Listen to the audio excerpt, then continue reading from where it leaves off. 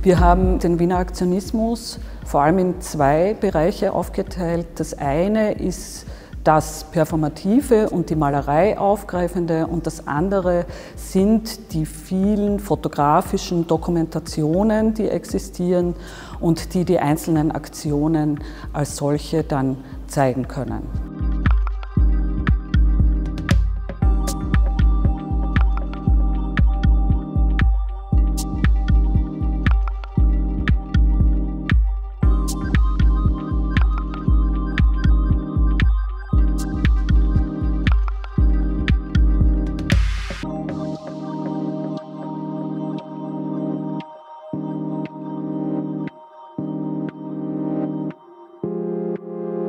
Natürlich ist der Wiener Aktionismus eine der aggressivsten Reaktionen auf die Aufarbeitung einerseits äh, der Kriegsgeschehnisse und auf der anderen Seite natürlich auch eine massive Reaktion auf die gesellschaftlichen Verhältnisse, auf die konservative Umgebung, äh, auch in der Kunstszene.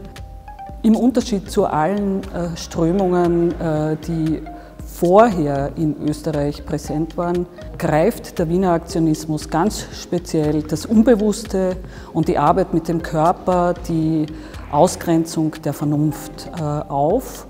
Und daher werden Dinge übernommen wie das Schütten der Farbe, das Rinnen äh, über die Leinwand, äh, das Betreten eigentlich auch der Leinwand, das Ausschweifen des Malens in den Raum und der Übergang eigentlich von einem skulpturalen Denken zum eigenen Körper und der performativen Aktion im Raum.